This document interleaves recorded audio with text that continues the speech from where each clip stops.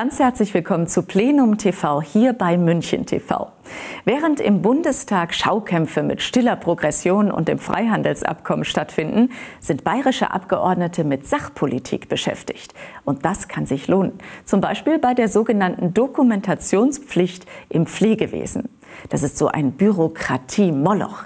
Die Pflegestandards müssen nämlich vom Personal aufwendig protokolliert und überwacht werden. Und da bleibt immer weniger Zeit für die Patienten.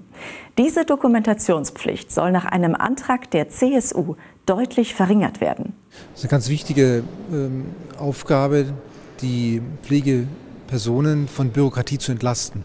Überall wird geklagt, dass die Bürokratie überbordet, dass die Pflegedokumentation zu aufwendig ist.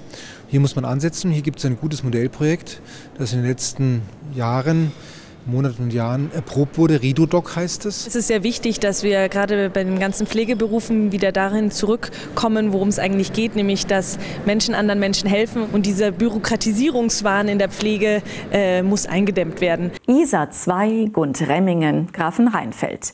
Nach Stilllegung sollen auch die bayerischen Atommeiler in eine Stiftung übergehen. Nachsorge und Entsorge sollen dann vom Staat erledigt werden, mit allen Risiken. Das haben jetzt die Betreiber vorgeschlagen. Die Freien Wähler fordern die Staatsregierung zum erbitterten Widerstand gegen dieses Stiftungsmodell auf. Das kann nicht sein, dass die großen Atomkonzerne, die jahrelang an der, äh, mit der Atomkraft ihre Millionen und Milliarden verdient haben, sich jetzt auf einmal aus dem Verkehr ziehen, sondern das ist dann auch deren Aufgabe, ehrlich gesagt, weil wir als Bevölkerung tragen eh schon das Risiko und wenn sich jetzt ein Unternehmen da einfach aus der Verantwortung stiehlt, finden wir das nicht in Ordnung. Die Gesetzeslage ist so, dass das äh, momentan nicht möglich ist und es wird auch nicht möglich sein. Die Konzerne müssen die Kosten selber tragen.